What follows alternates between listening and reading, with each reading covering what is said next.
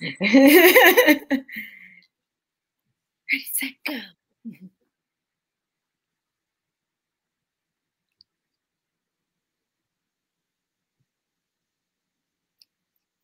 Welcome, everybody, to the San Diego Tribune Festival of Books. Actually, can I take that again?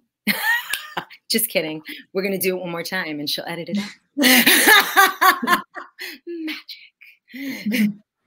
Welcome, everybody, to the San Diego Union Tribune Festival of Books. My name is Meliza Bañales. I'm the author of the coming of age Lambda Literary Finalist novel, Life is Wonderful, People Are Terrific. I will be your host today as we have with us two excellent authors in the genre of young adult romance. Let me say that again. Our panel today is young adult romance. With us today is Sarah Kuhn. She's the author of From Little Tokyo with Love, absolutely outstanding, and the equally outstanding Katie Heaney, author of Girl Crushed. We're going to be talking about these books today as well as speaking with these fantastic writers. Sarah, I believe you're joining us from Los Angeles. That's and Katie, I believe you're joining us from New York. So thank you so much for being here. Um, I want to just open with a really, it's kind of general, kind of not question, only because I believe young adult romance is always so difficult to explain.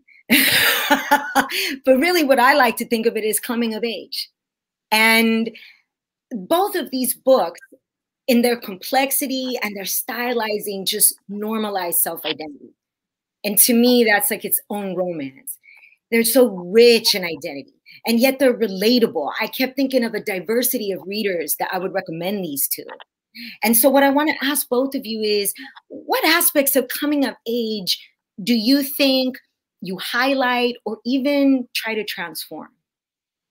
And we can start with Sarah if you sure. it's always good to call on someone in a virtual panel because everyone is so polite. We just don't want to talk about and I'm a teacher. I'm a teacher. I'm a yeah. Um, yeah.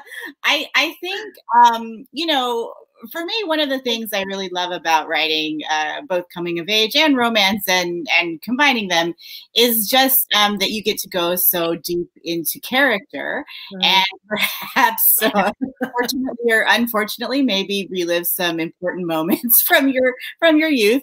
Um, but I think for me, especially with this book, you know, it's about a girl who uh, does not believe in happily ever ever after, mm. and uh, she is like me, a mixed race biracial biracial Japanese American person. And as she has grown up in a community where she is a little bit of an outcast, you know, she mm-hmm. uh, not not simply because she is biracial, but because she is also a tragic orphan. There are things you know, mm-hmm. in her past that that people sort of look at and judge. Um, but I think for me, um, I always love uh, writing the idea that um, when you find yourself and you're sort of able to express that in the most truthful way, it is such a beautiful thing. Mm-hmm. Um, and I think um, in this book, I was writing that for, you know, several of the characters, but mostly for Rika, who's the main character who just described, very grouchy, and she has a hard time kind of relating to a lot of people.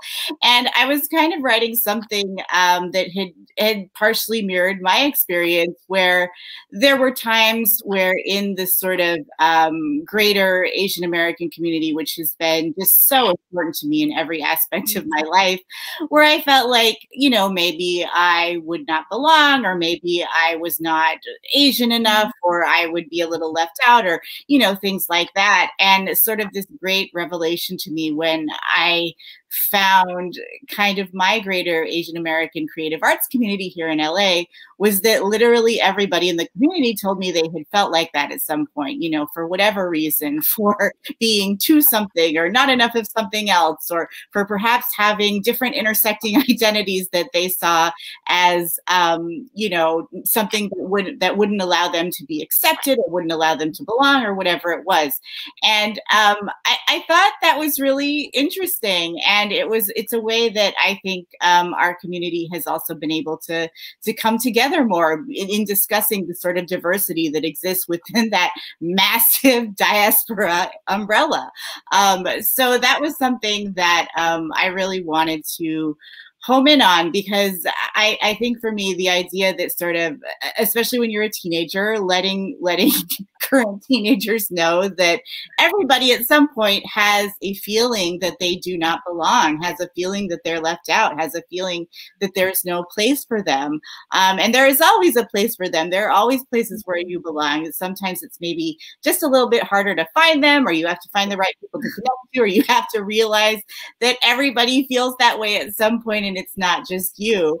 Um, so that's kind of an area of that sort of coming of age idea and finding your identity and sort of learning how to express it in all of its nuance and celebrate it that is always very beautiful to me. Thank you, Sarah. it's it's true. I think that's very true. We're all an outcast. Katie, I, I would love to hear what aspects of coming of age you think your book highlights or tries to transform.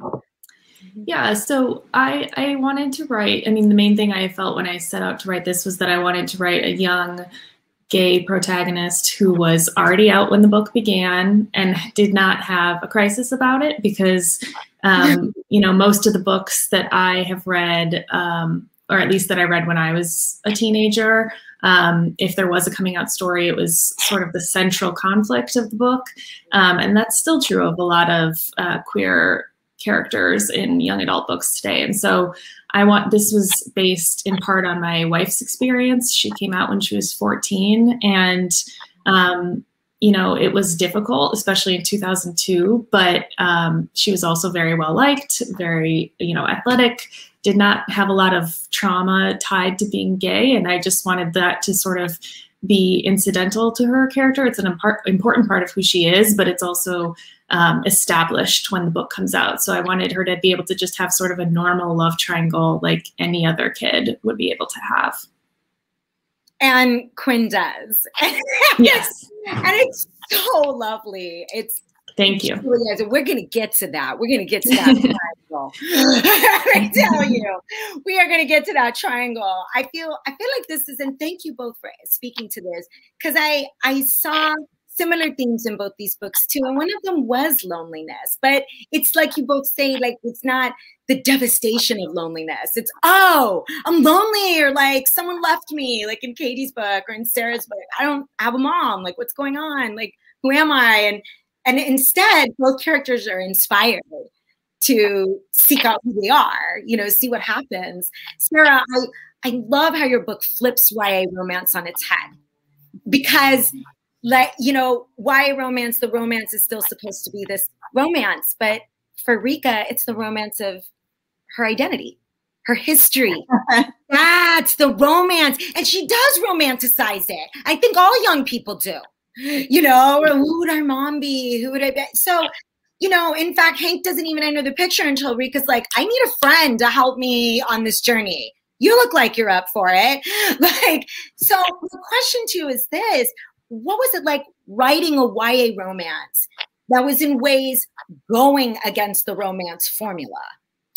Um, well, I guess I feel like it doesn't go against the romance. Uh-huh.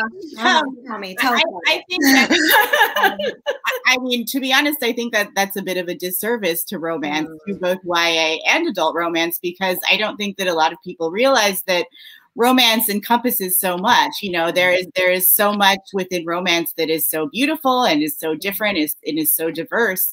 And a lot i mean you know in any romance the characters do have other things going on in their lives a lot of times the the romantic uh, story or the conflict might be a bit central but you know they usually like I, I think that one of the reasons i find romance so beautiful it is is it is such a character driven genre you know you have to go so deep into the the minds and the emotions of the, the protagonist or protagonist. And you kind of have to really show what they are feeling so mm-hmm. deeply at every turn of the story, which I think is extremely hard to do.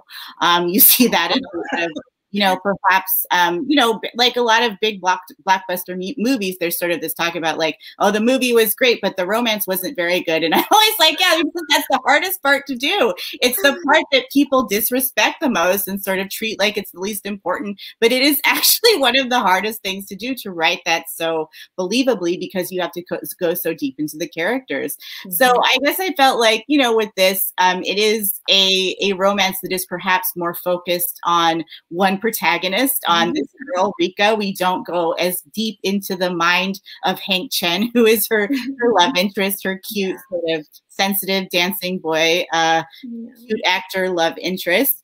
Um, but we do get some of his arc. You know, we see sort of him through her.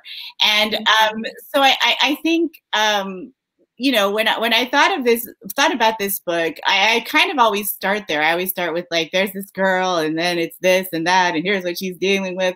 But I think as far as um, getting into the romance of her identity, you know, I, I love that that's kind of a thing that, that that's something you sort of picked up on because I think for me, a lot of this book was actually learning how to celebrate my own identity and kind of again all of its nuance and all of the different the different shades that it comes in. Mm-hmm. And I really credit um, my editor, Jenny Bak, who's the first Asian American woman editor I have been lucky enough to work with. And she really pushed me on that. You know, she was like, there is something here that is very real and is very authentic. And if you feel comfortable with that, I want you to kind of go deeper into it and really talk about the the reality of this of how it's affected you of how you sort of existing in these different communities where you feel like sometimes you don't belong how that kind of affects you because that is something that again affects everyone whether we, we realize that or not um, yeah. so a lot of that was just me trying to go deeper into that me trying to sort of um, learn how to celebrate it. And I think also like I really, you know, love what Katie was saying about um, the sort of idea of of tragedy or of things being mm-hmm. sad or whatever because of course that's something that we talk about a lot when we're um, writing characters who are like ourselves who have marginalized identities. Um, there has been this kind of focus on what is the tragedy? How is it sad? Can you talk about how much you've suffered? Can you please put that the essay format yeah. book? And, you know my whole thing has always been like we aren't sad all the time. Like it's not, mm-hmm. you know, we aren't, and we aren't sort of here to just demonstrate that for you, to sort of demonstrate how racism is bad or how homophobia is bad or whatever it is. Like we are not just here for that. We have our own mm-hmm. stories to tell. And so I kind of wanted to get into the idea that like she sort of see Rika sort of sees herself as tragic because so many other people do because she hasn't really give, been given this mm-hmm. alternate narrative you know in a lot of mm-hmm. sort of fairy tales and mythology if there is a character of color or especially a mixed race or biracial character there's sort of this idea that they are just there to be sad. They're there to be mm-hmm. tragic. They're there to, uh, to illuminate someone else's story. And so you know i kind of wanted to convey the idea that the re- one of the reasons she sees herself as this tragic orphan is that is the narrative people have imposed upon her. They do not understand how she how she could be happy. And i feel like I've, I've, experienced that in my own life as well. People always seem to think i'm torn between two worlds and everything is terrible. And i can you know i can never experience like a moment of happiness because i'm so busy being a, a tragic uh, biracial person. And um, that's just not that's, just tragic. not so um, like, like katie was saying about her book you know being more of maybe a celebration or just like mm-hmm. having that as as more of a happy focus i did kind of want to show like you know there is this idea and obviously there are struggles within any experience but there is a space for us to be happy there's a space for us to celebrate our own identity so i guess like while i was writing this maybe i was having my own love affair with you know my my identity I love it. I really, and I'm excited to hear that it was a love affair for you. I feel as you know, we write these books and it's a lot of work for us and we put a lot into it. So it's good to hear that. I and I and I and Katie, it's I feel like again, you it's similar. Like your book falls in line with so many things that are young adult romance. And then at the same time, it doesn't. I mean, there's this mm-hmm. rich first person narrator, Quinn. There's this vivid high school timeline. I felt like I was in the truck and I was getting dumped. I just, I totally, and like you said, like it's not a tragic, I'm coming out, my life's over, I get dumped. It's like, right. not dumped.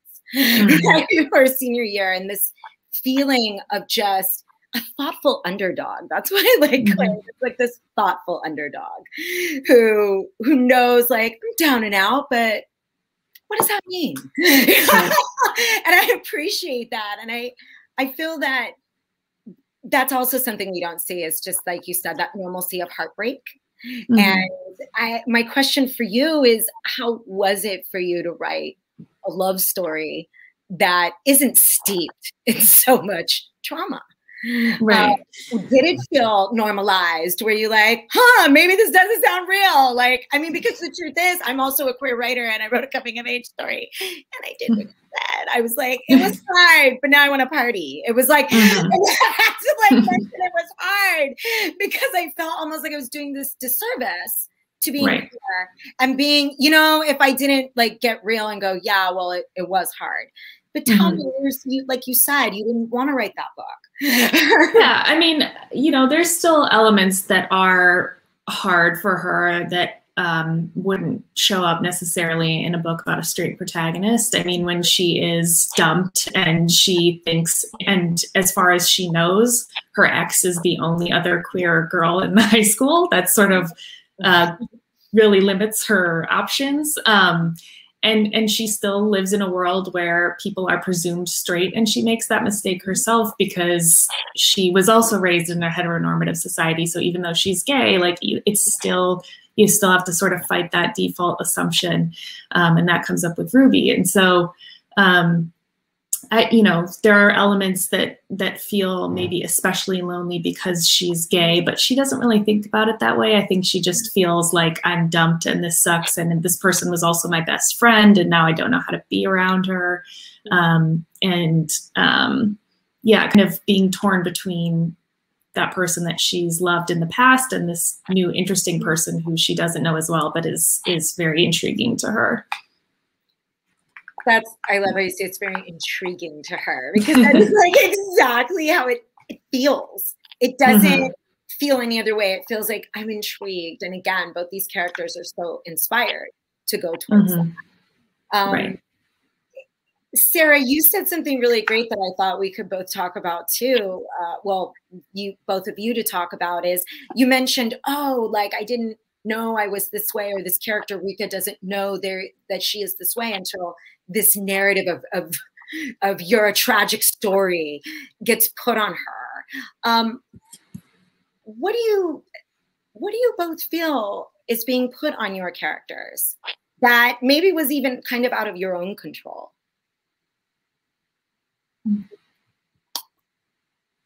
Hmm. That's a good question. I mean, I, I mm-hmm. think it's just, you know, what what we were kind of talking about before. It's just a lot of sort of misconceptions about what that experience is. You know, I think, um, especially when you are writing characters that are, you know, like you or share your marginalizations or or whatever it is, um, you know, so sometimes you it can get you sort of have to, to think a lot about that you know how mm-hmm. how do people perceive me how people how have people perceived me in the past how do i perceive myself and i think um you know there's there also tends to be from outside sources this uh this desire to flatten this sort of desire to mm-hmm. say like all mixed race people experience this like X, all Asian people experience this like Y. And you know, that's that's just not true. Everyone is their own individual person who experiences things differently. And I, I, think, like for me, I was thinking about this, especially in terms of mixed race people, because I and and actually also in terms of the the sort of Asian American diaspora, because there again there are so many identities within that. Um, if you try to flatten it down to one mm-hmm. thing, you know, it doesn't really work. Um, so you know i've always said that that my greatest desire is that everybody sort of gets to to write and to be seen in in all of their complexities and all of their nuances and all of things that are then not considered, I guess, you know, negative. Like there, there sort of tends to be like a lot of talk about, you know, stereotypes in fiction, stereotypes in stories, and what that means. And I have sort of struggled with this in different ways. And one of those ways was there were certain things that people at different points had kind of earmarked as like this is a stereotype. Uh, for mm-hmm. instance, one of those was the Asian girl hair streak. Um, so there was this kind of thing a few years ago where someone discovered that. Um, there were all of these characters, these like Asian girl characters that people to sort of show like this isn't your typical like it's not the stereotype you're thinking of where she's quiet and shy and good at math. She's a rebel. She's yeah, back. Uh-huh. She has like a blue hair, and that's how you know and so I was thinking about that because in one of my books, I had a main character who had been a supporting character in a previous mm. book who had mm. blue and purple hair, and she's an Asian girl. And when I went to write her book, I was sort of like, do I need to change that? Oh, yeah. People will be like, it's a stereotype that she has a purple and blue streaks in her hair. And I thought about it and I was like, no, because I think ultimately a stereotype is not the presence of one trait is it is the lack of all others so if you have a girl who has a hair streak and it's supposed to stand in for literally every quality she has it's the only way that you know that she's a rebel then yeah that's a stereotype mm-hmm. but if she is the main character written also by an asian american author and she has many qualities many traits mm-hmm. and she has the hair streak because she likes how it looks and by the way there are also lots of Asian women in real life who have blue and purple hair streaks, mm-hmm. then that's just a character. That's just a fully drawn, hopefully, if I've done my job, character. And uh, so I actually ended up addressing that one by putting it in text. I had another mm-hmm. character who kind of tried to come at her about the hair streak, and she shut it down and was like, I'm a real person, which is funny because she's not. She is a fictional character. But Who does she think she is? something that wasn't true to shut that down. But um, I, I think that, you know, I just really have this uh, this deep desire for us to be able to see in all of this those mm-hmm. complexities. And so my challenge to myself as a writer always is kind of like, look at this critically and yes make sure you're not leaning into or falling into something that you have perhaps internalized after a year an entire lifetime of consuming white constructed media but also recognize that you know there are some of these things that are actually complexities or nuances that you can bring out in that way if that is what you want to do thank you. Yes katie I, yeah i mean i really that really resonates with me. I think like um, you know something that i don't know it's this is my that was my first young adult book so i don't know whether it's fair to generalize from that yet but it does feel like you know, part of this is the the way that things are improving and that we're demanding more of our writers and and the books that we see in the world, which is great. But then there's also I don't want it to feel like someone who's an Asian American author like Sarah or a gay author like me. It's like we have to make our protagonists more perfect than like a white straight main character would be um, and and i don't think you know like sarah's saying like they should be allowed the complexities of any other teenager who's imperfect and doesn't know everything and and kind of has their own misconceptions and um, and even stereotypes. I mean, high school is prime time for stereotypes. Like we're all just trying to fit in and express ourselves all in the ways that everyone has always tried to fit in and express themselves. And um, you know, in Quinn's case, like I mentioned with Ruby, she she still falls into that assumption like this girl's straight like you know if if she had a boyfriend she's straight and and i wanted to show like even she can make that mistake but she can also be corrected and learn and grow from it because she is a kid and um you know i think that our our marginalized uh main characters should have that same freedom to mess up and learn and grow Absolutely. Yeah, marginalized characters should be allowed to be jerks. That's what. I yeah. I have also really pushed. yeah, absolutely. jerks too. Yes. jerks, messy, confused, mm-hmm. right? As Katie said, corrected. Yeah. like, you know, you don't want to put it out there like my main character is a jerk and that's totally okay. Like, totally okay. some learning and some arcing that that's happening, but you know, that's all part of making them real. Right. Right. Yeah. And the complexity of, like you said, of making them real reality is a lot more complicated mm-hmm. we give it credit for. um, we're coming near an end. And I want to, and it's only the end of this panel, everybody. You all go get these books. It doesn't end there. It doesn't. It doesn't. These books are available. But before we end, I just want to say all writers who write coming of age stories are kind of nostalgic. Don't lie. Don't lie. There's a little nostalgia in all of us. and I'm just mm-hmm. curious what you're nostalgic for. I would have to say it's waiting in line for concert tickets. I know I'm crazy. I'm a Gen X. it was an event. No one gets it. And that was like the pre thing to going to a or a concert. You were going to wait yeah. in line all night long. and it was a party. I mean, Katie, what are what are you nostalgic for when from your coming of age era? Yeah, I mean, I I really think the main thing is um, just spending like vast quantities of time with your best friend doing not much of anything um, and pretending you're doing homework, not really getting much done. Um, yeah and just just sort of maybe the drama of everyday life like yeah. there's just always something new happening and, and being around a bunch of people your own age like that doesn't really continue after college. Um, and so you know that that's probably the part i missed the most. But i also think what was nice about this book for me at least was that it gave me something i could sort of create nostalgia for that i didn't experience because i wasn't out in high school. It took me many more years than that. And so i was sort of able to create this experience that i wish i had gotten um, and and find some comfort in that too Thank you. And Sarah, thank you. What about you, Sarah? What are you nostalgic yeah, for? I'm coming of age era. I also wish for lots of un- uninterrupted time with my best friends. yeah. That sounds amazing.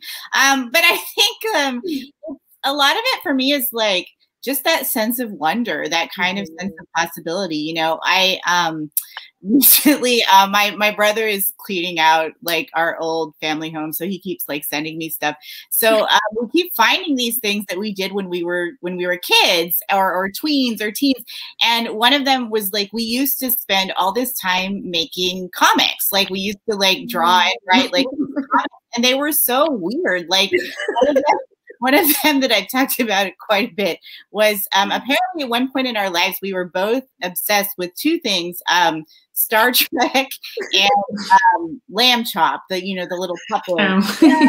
so I don't know why those two things, but so we combined them into a comic that was basically it was called uh, Lamb Trek, and it was Star Trek but with all lamb chops. And I please release this. I was like, okay, first of all, I don't know what we were doing that we came up, like that we randomly came up with this, but also it seemed like something that you absolutely would come up with as a kid, right? Like you're mm-hmm. just like there's no one judging me. Like my mm-hmm. internal sort of editor hasn't turned on yet. I'm not thinking about like who's the audience for this? Or how will people respond to this book? Or will my editor like it? Or will someone buy it? Or whatever. Like we aren't thinking about that. So we just have this sense of like possibility. like we can make anything and spend a lot of time on it, and that's fine. And so I think um, something I've been trying to sort of re-find in myself is that sense of wonder where I can just mm-hmm. come up with something weird and I'm not immediately judging myself for it. Mm-hmm. And, you know, I think in Little Tokyo, there's a bit of that with, with Rika. She always feels judged. She judges herself the most harshly of all. And um, she kind of has to find that sense of wonder again that lets her see that, you know, you can have a fairy tale. You can't, you know, you, this very grouchy person who doesn't fit in in your community and doesn't like princess things and doesn't do believe in happy endings. Like you can find your own fairy tale. You can make that for yourself if you just kind of open yourself up to this sense of wonder. So that's something I am trying to find myself again as well.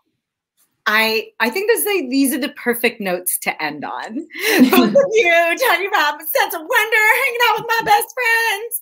We just came out of a pandemic. We can do this. Mm-hmm. And, and, you know what? You came out of a pandemic, everybody, but you can still read a book. Okay? So please, please, please thank, thank, thank, thank you, Sarah Kuhn and Katie Heaney, authors of From Little Tokyo with Love and Girl Crushed. These are the books Okay, don't forget them. I want to thank um, our booksellers. You can purchase these books uh, from our indie book partners at bookshop.org. And there you go. There's that website. Please consider supporting the San Diego Council on Literacy by visiting literacysandiego.org. You can continue to join us for the full program of author panels, exciting discussions, and live entertainment. And we are streaming it entirely online, entirely online. So you can catch up with this, okay? All videos will be available at sdfestivalofbooks.com. Thank you again for tuning in. Again, I want to thank our producer, Jenna. I want to thank Sarah Kuhn and Katie Heaney. Again, my name is Meliza Bañales. Thank you so much for joining us for the Young Adult Romance panel. Have a great one. Thank you.